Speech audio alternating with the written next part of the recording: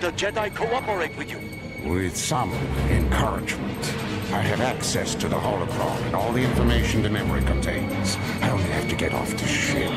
Maybe you should transmit it to me now. Then I can send another ship for you.